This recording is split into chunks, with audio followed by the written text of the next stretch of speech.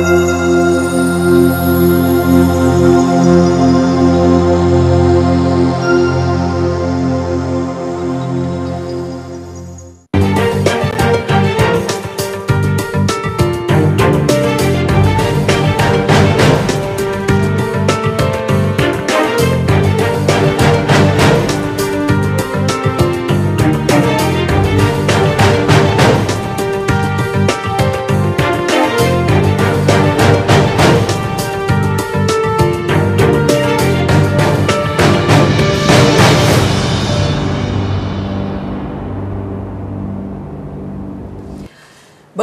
hoş geldiniz. Canlı yayında Bakış Açısı'nda bugün karşınızdayız. Ee, ve Manisa'yı aslında Manisa'nın Demirci ilçesini programda konuşacağız. Çünkü stüdyo konuğumuz Demirci Belediye Başkanı Sayın Selami Selçuk olacak. Demirci özellikle o bölgeden geçenlerin yakından bildiği bir ilçe ama biz e, tam merkezinden öğrenmek istiyoruz nasıl bir ilçe ki nüfusu da oldukça fazla aslında çalışmalarda yoğun bir şekilde devam ediyor. Tabii Demirci e, yine diğer ilçelerden farklı noktaya koyan bir takım özellikleri var. E, dolayısıyla bugün bakış açısında Sayın Selçuk'la birlikte Demirci'yi konuşacağız. Efendim hoş geldiniz. Hoş bulduk. Ee, ki sabah geldiniz aslında. Biz biraz da Denizli'yi gezelim istediniz. Nasıldı? İlk önce öyle bir sorayım. Yoğun muydu bugününüz? Bugünümüz tabi Demirci ben şöyle ifade edeyim. Ee, biraz ana e, arterlere uzak bir yerdeyiz. Ee, Ankara yoluna çıkabilmek için 110 kilometre mesafe yapmamız gerekiyor. Daha sonra Denizli'ye dönüyoruz. Hem e, yol yorgunluğu olmasın, bir dinlenme fırsatı olsun. Hem de Denizli'yi tanıyalım e, düşüncesiyle biz biraz daha erken geldik. Tabii Denizli e, aslında biz aynı toprakların insanlarıyız. E, yollar belki e, kilometre olarak uzak olsa da coğrafyamız birbirine yakın. İnsan tipimiz birbirine yakın. Buralarda kendimizi gördük. Canlı bir ticari hayat gördük. E, güzel yaşanılabilecek bir yer de- Denizli. Bunu da ifade etmek Evet. istiyoruz. Ee, ki izleyicilerimize de söyleyelim. Bildiğiniz gibi özellikle bölgeden, farklı ilçelerden yine belediye başkanları ve konuklarımızla o ilçeleri tanımaya devam edeceğiz. Şimdi dediğimiz gibi bugün Demirci'yi tanımak istiyoruz. Ee, biraz e, farklı bir coğrafyadayız dediniz. Evet. Ankara'ya uzaksınız ama Manisa'ya bağlısınız aslında. Doğrudur. Ee, Manisa ile aranız ne kadar? Manisa ile aramızda 175 kilometre mesafe var. 175 kilometre. Bunu e, biz ülkemizin değişik e, coğrafyalarında ifade ettiğimiz zaman sizin yaşadığınız hayreti herkes de görüyoruz. E, Birçok yerde mesela Karadeniz yöresinde 175 kilometre ilerlediğiniz zaman 3 tane il sınırını Aynen farklı bir ile geçiyormuş gibi. Ee, Ama bizim e, tarihten bu yana özellikle Türklerin Anadolu'daki e, hayat sürmesinden itibaren Demirci hep Saruhan beylikleri tarafından yönetilmiş. E, coğrafya olarak da Manisa'ya kendimizi daha bağımlı hissediyoruz. Mesafe uzak, e, biraz da kırsal bölge olması hasebiyle e, il olabilecek büyük bir merkez yok bizim oralarda. En uygun olan Manisa, biz Manisa'da olmaktan da memnunuz. Zaten şimdi birazdan Demirci ile ilgili görüntülerimiz de izleyicilerimize gelecek, izleyebilecekler. Nüfusu nedir Demirci'nin? Merkez nüfusumuz 25 bin. Büyük şehir olduk bu e, 30 Mart'tan itibaren. Alt- 6360 sayılı kanunla. E, köyler de artık ilçe nüfusuyla birlikte ifade ediliyor. Bu şekilde 45 bin nüfusumuz var. Kaç e, mahalle var şu anda? Merkezdeki mahallelerimizle birlikte 79 köyden e, dönüşen mahallemiz ve 22 merkez mahallemiz olmak üzere 101 mahallemiz var. Peki bunların arasında da mesafe var mı? Tabii 1500 kilometre kare yüz ölçümümüz var. Gene birçok il sınırları kadar da bizim geniş bir e, yayılma alanımız var. Peki e, coğrafyası nasıl? Daha çok dağlık mı? Hani daha düz bir ovada mı? E, tabii dediğim gibi ekiplerimiz hani görüntüledi. Biz Evet. biliyoruz ama izleyicilerimiz açısından bir de sizin tarifinizle alalım. Yani nüfus oranımız, kilometre kare başına düşen nüfus oranımız oldukça düşük. E, az sayıda insan yaşıyor. Zaten e, ova olmaması, arazinin günümüz şartlarına göre mümbit sayılan bir arazi olmamasından dolayı Demirci sürekli e, göç vermekte. dağlık bir arazimiz var. E, Biz bunları e, bu gidişi tersine çevirmeye çalışıyoruz. Kendimizi öyle vazifeli hissediyoruz. Ama dağlık bir arazi ve ana ulaşım noktalarına e, mesafemiz de biraz uzak. Temel sıkıntılarımız da bunlardan kaynaklanıyor. Peki nasıl tersine çevireceksiniz? Galiba bunu projelerle yapacaksınız. Elbette. Yerel seçimler ardından hemen hiç durmadan zaten projelerinize başladınız ama ben bakıyorum devlet hastanesi inşaatı var, Selendi yolu Evet, var. Hani bunun gibi birçok turizm açısından mesela çalışmalarınız devam ediyor. Ee, sizin gündeminizde hani benim elimde evet e, Demirci'de yapılan çalışmalarla ilgili bir liste var ama sizin gündeminizde önceliği olan hangisi? Şimdi e, çok kısa bir süre olmasına rağmen iki defa ulaşımdan bahsettik. Bu bizim yaramızı da gösteriyor Evet. esasında. E, en temel sıkıntımız ulaşım. Arazinin engebeli oluşundan dolayı yol yapmak belki daha maliyetli. E, çok yoğun bir nüfus oluşmadığı için de belki bugüne kadar siyasetçiler oy hesabından dolayı öncelik vermediler demirciye. Ancak e, ben ilçe başkanlığından geliyorum. Yani 2010 yılından beri bir şekilde demircinin geleceğiyle ilgili bir takım projeler, düşünceler içerisindeyiz. E, bizim birinci önceliğimiz ve her demircinin birinci önceliği yol problemi. Bununla ilgili çalışmalarımız var. E, bu tersine çevirmede zaten önce bu ulaşımla mümkün olacak. Demirciyi yakın hale getirmemiz gerekir. Bugünkü şartlarda demirci insanların özellikle e, demirciye yönelmedikten sonra gelip göreceği bir yer değil. Ama bizim e, eğitim noktasında zenginliğimiz var. Eğitim fakültesi Türkiye'deki ilk eğitim fakültelerinden. En eski eğitim fakültelerinden. Kaç öğrencisi var? Ee, Yaklaşık. 3000 öğrencimiz var. Meslek Yüksekokulu ile birlikte 4000 üniversite öğrencimiz var. Ve biz bunların artık tek e, hedefleri demirci olduğu için bunlar demirciye uğruyorlar. Yani Salihli gibi veya efendim Deniz Denizli'nin diğer bir ilçesini de örnek verebiliriz. Acıpayam'a örnek verebiliriz. Antalya'ya giderken uğranan bir yer değil. E, bu sebeple özellikle demirci için niyetlenip yola çıkanlar dışında kimsenin uğramadığı bir yer. Biz öncelikle bunu aşmalıyız. Demirci'de ticareti ve sanayiyi kolaylaştırma açısından da yollar var. Ve biz e, arazimiz engebelik, dağlık bu sebeple e, ziraate çok uygun değildi bugünkü şartlara göre.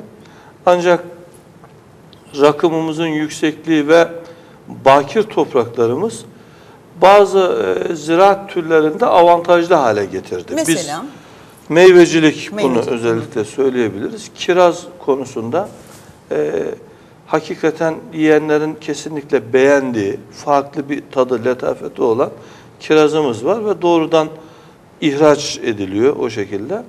Ancak bunların da değerlendirilmesi gene yolla mümkün. Yol ve su yani kalkınmanın, medeniyetin iki temel ayağı. Bizim bu konuda gölet çalışmalarımız var. Çok önceden başladığımız bir tanesini e, birkaç ay içerisinde bitireceğiz. Dur Hasan göletimiz var. Bu demircinin ilk göleti olacak. Ve yakın zamanda dört tane göletimizin ihalesi yapılıyor. 2010 yılı içerisinde, 2015 yılı içerisinde e, bir göletimiz tamamlanmış, dört tane göletimiz de yapımına başlanmış olacak. Tabii meyvecilik başta kiraz olmak üzere, bunun dışında birkaç daha birkaç tane daha e, bu şekilde demircinin arazisine, rakımına e, uygun meyveler var. Bunları geliştirip biz demircide de ziraatı daha e, verimli hale getirmeyi Evet amaçlıyoruz. aslında e, hani bu kadar e, söyleşiden öne çıkardığımız şey demirci her ne kadar e, illere uzak bir noktada da olsa dağlık bir yapıda da olsa Ege bölgesinde özellikli yere sahip e, bir konumda. Çünkü e, gerçekten kendine has bir coğrafyası ve kendine has bir yapısı var. İşte önemli olan bu yapı ne kadar avantaja çevrilebilecek. Hani bazen dezavantaj gibi duran Evet. şeyler avantaja dönebilir. Mesela e, ileride Demirci bir turizm merkezi haline gelebilir mi? Ya da sizin hayalinizde şekillendirdiğiniz Demirci hangi noktada duruyor? Yani evet tarım önemli ama anladığımız kadarıyla ziraatten çok daha farklı noktalarda öne çıkabilecek özelliklere sahip Demirci. Tabii tabii o manada yani dezavantajları avantaja çevirmek lazım. Ben e, hemen özellikle çok yakın bir avantaj olarak diyorum. Bizim arazilerimiz bakir, bir organik tarım açısından çok avantajlıyız. E, kaplıcamız var. Bu kaplıcayı e, tam vücut ısısında çıkan bir suyu var. Dolayısıyla e, tıbbi raporlarla, tahlillerle de bunlar destekleniyor. Şifa özelliği oldukça yüksek. Peki bayağı var mı öyle bir potansiyeli var mı? Bu potansiyeli geliştiriyoruz. Ee, geçmişten bugüne belediyelerimiz bu noktada hep yatırım yaptı. Şu anda yeni bir yatırımımız da tamamlanmak üzere. Ee, müstecir firma tarafından, işletici firma tarafından. Biz e, kaplıca turizmi noktasında demirciyi geliştirmek istiyoruz. Doğa turizmi var. Bunlar çok önemli. O manada e, demirci açısından bir takım projelerimiz var ama ben şöyle söyleyeyim. Demirciyi nasıl hayal ediyoruz noktasında hayal ettiğiniz demirci. Biz öncelikle e, demirci e, sanayinin ve e, ticaretin gelişmiş olduğu bir yer. Yani ticaret sanayi odası Türkiye'de ilk kurulan odalardan. E, bizde e, var olan bir şirket ilk 100 şirketin içerisinde firma anonim şirket olarak. Geçmişten bugüne ticaretin ve sanayinin yoğun şekilde yaşandığı bir ilçe. E, Biz özellikle bu özelliğimizi korumak istiyoruz. Çünkü e, ziraat insanları e, bünyesinde barındırabilmekte ama gerçek katma değer ticarette ve Tabii. sanayide var.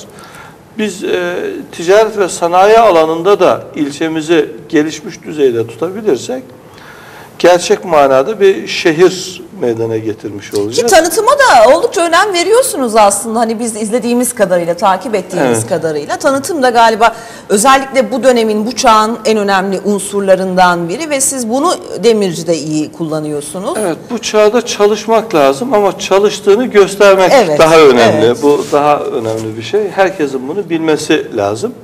Bütün çabalarımız bu doğrultuda. Ee, Demirci'ye, Demirci'de yaşayan insanların burada yaşamaktan memnun olmaları, mutlu olmaları bunu sağlamayı biz görev addediyoruz. Bu açıdan e, şehircilik açısından da eksiklerimizi tamamlamaya çalışıyoruz. İşte az önce siz de bahsettiniz. E, hastane sağlık hizmetleri noktasında e, çok fazla bir e, vatandaşımıza her şeyi veremiyorduk. istediklerini veremiyorduk vatandaşımıza. Şimdi yeni hastane yaptırıyoruz. Tamamlanmak üzere, bitmek üzere. Kaç yataklı olacak? 75 yataklı hastanemiz var. Bunun cihazları ve doktor eksiklerini tamamlamaya çalışıyoruz. Vatandaş memnuniyetini artırmaya çalışıyoruz. Aynı şekilde e, mahallelerden, köyden dönüşen mahallelerden gelen insanlarımızın ihtiyaçları açısından hükümet konağımızı yeniliyoruz. E, herkesin işini Demirci'de halledebilmesini amaçlıyoruz. Sosyal Güvenlik Kurumu'nun merkezini Demirci'ye taşıdık. Artık emeklilik işlemleri için Manisa'ya gitmek gerekmiyor. Biliyorsunuz Manisa 175 kilometre evet. dedik. Bunlar o manada çok önemli. Peki hizmette nasıl? Büyükşehir olduktan sonra yani hani sizin oraya e, hizmette ulaşırken problem yaşıyor musunuz? Ya da e, evet bu sizin belediyenizi belki diğer belediyelere göre daha zor bir duruma getiriyor. Çünkü belki de kendi sorunlarınızı kendiniz mi çözmeniz gerekiyor? Ne yapıyorsunuz o Kendimiz noktada? çözmemiz gerekiyor haliyle. Tabii büyükşehir yapılanması yeni bir yapılanma. Bütün geçişler sancılı olur. E, bu sancıyı biz de yaşıyoruz ve en fazla yaşayan ilçeyiz. En uzak ilçe olmamız hasebiyle. Ama e, bir şekilde bunları da aşacağız. Buna da inanıyorum. Kısa süre içerisinde. Şimdi e, Manisa'yı aslında e, tabii Türk tarihinde önemli bir yere sahip Manisa. Hani Osmanlı'dan bu yana ciddi anlamda tarihi ve kültürel birikimi Şehzadeler olan kenti, evet, evet. Şehzadeler kenti. Dolayısıyla bu durum aynı zamanda ilçeleri için de geçerli. E, dolayısıyla bu kadar kültür birikimi muhtemelen Demirci'de de var.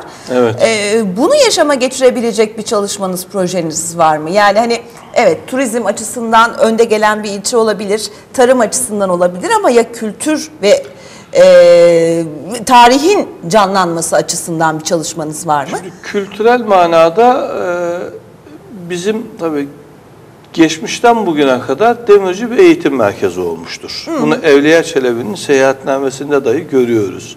O kadar ve e, bakın şöyle anlatayım. Eğitim fakültesi Türkiye'deki ilçelerdeki ilk fakülte bildiğim kadarıyla ve en eski fakülte. Kaç yılında kurulduğunu hatırlıyor musunuz? 1960'lara dayanıyor kökü. 1975'lerden itibaren yüksek öğrenim olarak hizmet vermekte. Hangi e, okul açısından bakarsanız bakın diyelim İmam Hatip Lisesi Türkiye'deki 40 İmam Hatip Lisesi'nden birisi. İlk 40 İmam Hatip Lisesi'nden birisi. E, Endüstri Meslek Lisesi, Sağlık Meslek Lisesi bütün eğitim kurumları Demirci'de vardır. Neden peki Ve demirci eğitimde bu kadar ileri? da çoğunu da demirciliği yapmıştır. Bizde e, darbe mesel haline gelmiş bir söz vardır. Ya okuyacaksın ya dokuyacaksın derler. Halıcılığın da Türkiye'deki özellikle el halıcılığının Türkiye'deki birkaç merkezinden birisiydi demirci. Ama tabii el halıcılığı zamanın getirdiği bir e, sonuç olarak Türkiye'den tasfiye noktasında. Bunun da gene en son direnen kalesi olduğunu söyleyebiliriz. Var mı şu anda halı dokunması? Hala hazırda e, halı üzerine çalışan firmalarımız var. El halısı dokunuyor Kaç demircide. Ama e, şöyle ben size şu şekilde ifade edeyim değerli izleyicilerimize. Bundan 30 yıl önce e, on binlerce insan sadece halı dokuyarak karnını doyuruyordu demircide. On binlerce aile. Tabii bu on binlerce aile belki birkaç yüz aileye düştü şu an itibariyle.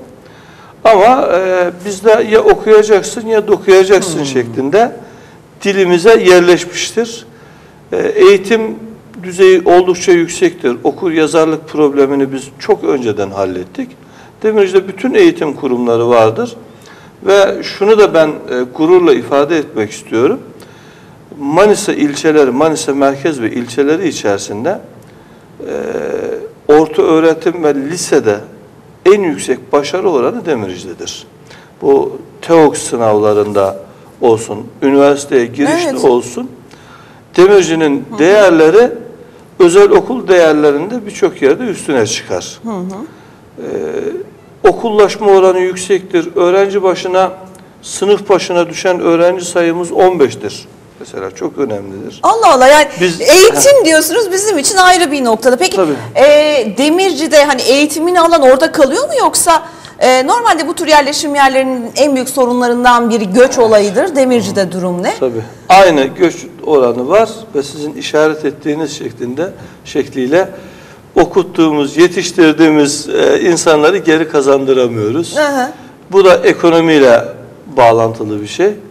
E, ancak bu insanları topluma, ülkeye, millete yararlı, donanımlı insanlar olarak yetiştirme konusunda Demirci e, ayrı bir yere sahiptir.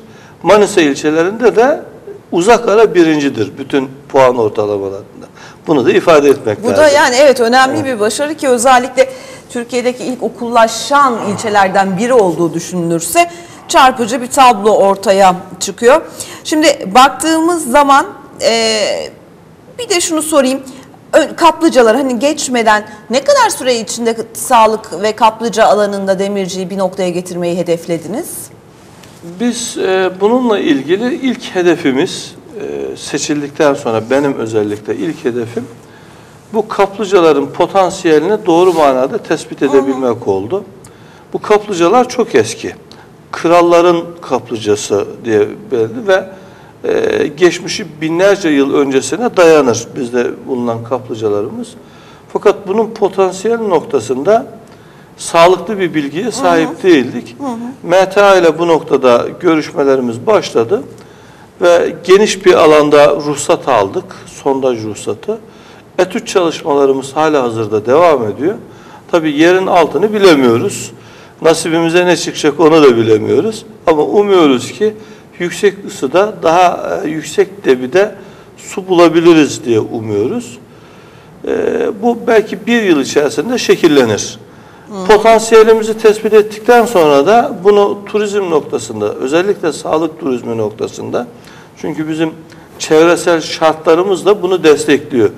Yani e, rahatsızlığı olan bir şahıs, bir aile geldiğinde e, organik gıdalar, temiz hava, efendim e, faydalı ve şifalı sular sağlığa çok daha çabuk kısa sürede ulaşabileceğini düşünüyoruz. Peki konaklama tesisleri konusunda galiba hani potansiyel belli olduktan sonra mı harekete geçeceksiniz? Hala hazırda bir yatırım var. Ee, bu bizim konaklama noktasındaki sıkıntımızı tamamen ortadan kaldıracak. Bu da birkaç ay içerisinde e, faaliyete geçecek.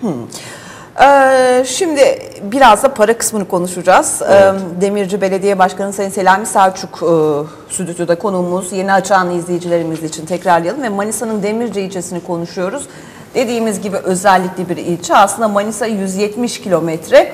Bir bakıma kendi yağıyla kavruluyor ama diğer taraftan e, baktığınız zaman eğitim başta olmak üzere birçok noktada da önde gelen ilçelerden biri. Şimdi yatırımlardan bahsettik, biraz kaynaklardan bahsedelim. Evet. Sayın Selçuk, e, kaynağınız ne durumda yatırımlar için? Şimdi şöyle ifade edebiliriz. Tabii e, bu Büyükşehir Kanunu ilk muhatap olan da biz olduk benim dönemimde. Ee, kaynaklarımızın önemli bir kısmı Büyükşehir'e aktarılıyor. Su tahsilatı olmak üzere bu da belediyeler için en önemli kaynaktır zaten. Ve demirci gibi doğal cazibeyle su alan yani suyu musluğa getirme noktasında yüksek maliyeti olmayan yerler için çok önemli bir gelir. Bu gelirlerimizden mahrum kaldık. Ee, şu an kendimizi tanıma, toparlanma ve neler yapabileceğimiz noktasındaki e, stratejik kararları verme durumundayız. Bu, bu gelir kaybını, gelirlerimizi, giderlerimizi bir araya getirip e, elimizdeki kaynaklarla neler yapabileceğiz? Ha şunu söyleyelim, belediyemiz bizim batık bir belediye değil. E, o manada ama kaynakları bol olan bir belediye de değil. E, ekonomik cazibe merkezi olmadığı için rant söz konusu değil. Bu, bu imkanlardan mahrumuz. Özellikle metropol kentlerde belediyelerin en önemli diğer gelir kaynakları da bu arazi rantları oluyor. Belli bölgeleri imara açarak e, oralardan elde ettikleri arazileri değerlendirerek kendilerine kaynak sağlayabiliyorlar. Biz maalesef bu imkandan da yoksunuz ama biz kaynaklarımızı doğru kullanarak demircinin önünü açacağımıza inanıyoruz. Ve bir de e, tabii bizim problemlerimizi çözmemizde belediye imkanları zaten başlı başına yeterli değil. Bizim e, hükümetle iyi geçinmemiz gerekir. Hükümetle aynı dili konuşmamız gerekir. Demirci 30 Mart'ta da bu tercihini açık şekilde gösterdi.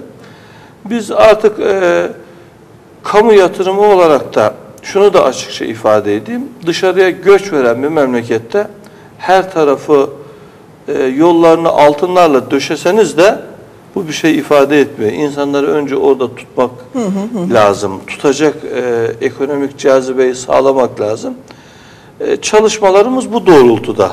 Eğer bunu gerçekleştirebilirsek belediyecilik hizmetleri de e, bu gelişmenin gerisinde kalmaz. İmkanlarımız buna O da müsait. gelişir diyorsunuz. Peki e, şimdi hani turizmle ilgili konuştuk da kırsal kalkınma ile ilgili ne planlıyorsunuz? Yani işte hayvancılık tamam meyvecilik dediniz bu konuda bir gelişim e, kaydı zaten var hani potansiyel ama bunun dışında üzerine ne koyabileceksiniz? Ne gibi projeleriniz var? Kırsal kalkınma e, tabii coğrafyamızı iyi değerlendirmek istiyoruz. Bu doğa sporları bunun peşindeyiz bu noktada. E, bakın ben buradan da ifade edeyim. 2700 yıl öncesinden kalma bizim bir çınarımız var. Yakın bir köyde. Bakın, 2700 yıl. 2700 yıl öncesinde. İşte bu tür e, sahip olduğumuz değerleri tanıtmak istiyoruz. E, turizm o manada ve insanlar e, ben burada Denizli'de de karşılaştım. Bir şekilde demirciye uğramış herkes demirciden övgüyle söz ediyor. Ben oraya geldim, insanları misafirperverdi, yardımseverdi vesaire. Bir fırsatını bulduğumda tekrar geleceğim şeklinde. Ee, gelen insanları tekrar demirciye çekmek istiyoruz. Sahip olduğumuz değerleri e, bütün ülkeye hatta yurt dışına tanıtmak istiyoruz. av turizmini kalkındırmak, geliştirmek istiyoruz. E, ama kendi benliğimizi kaybetmeden, coğrafyamızı, güzelliklerimizi, bakir topraklarımızı kaybetmeden, kaybetmeden bunları yapmak Evet, istiyoruz. ya o zaman önceliğimiz diyorsunuz turizm. Ee, antik kentlere yakınlığınız nedir? Ya da hani 2700 yıllık bir çınardan bahsettiniz. Bunun dışında var mı böyle tarihi noktalar? Demirci'de tarihi noktalarımız var ama e, işte bu uzaklığımız bizim en ciddi handikapımız. E, Sidas harabeleri var, e, antik tiyatro, amfiteyatro var. Bunlar Demirci sınırları içerisinde. Kazı yapılıyor mu buralarda? Kazılar yapılıyor. E, Demirci'nin değişik köylerinde, mahallelerinde e, tarihi yapılarımız var. E, merkezimizde işte 700 yıllık bir camimiz var Selçuklulardan kalma. O manada e, Demirci antik çağlardan bu yana üzerinde ikamet edilen bir şehir. Ama bunların o manada ekonomiye kazandırılması öyle zannediyorum ki biraz daha bizim gayretimizi Zaman alacak. gerektiriyor. Evet, proje gerekiyor diyorsunuz. Ee, hayvancılıkta durum ne? Hayvancılık zaten e, bugüne kadar tarımda e, tarım olarak söyle gösterebileceğimiz, adını koyabileceğimiz en önemli faaliyet hayvancılık. Küçükbaş hayvancılık oldukça yaygın. E, ilçe tarımın verilerine göre 100 bini aşan küçükbaş hayvan mevcudumuz var. Ama e, işte bunların katma değerini de buralarda bırakmak lazım. Biz belediyeciliği bu manada ele alıyoruz. E, buralarda e, küçükbaş hayvan yetiştiriciliğinin yanında bu et ve işleme sanayinde eğer geliştirebilirsek bu noktada çalışmalarımız var. E, bu işten ekmek yiyen insan sayısı daha fazla artacak. Onun peşindeyiz. Büyükbaş hayvancılık ancak bu bizim gölet projelerimizin hayata geçmesiyle verimli hale gelecek.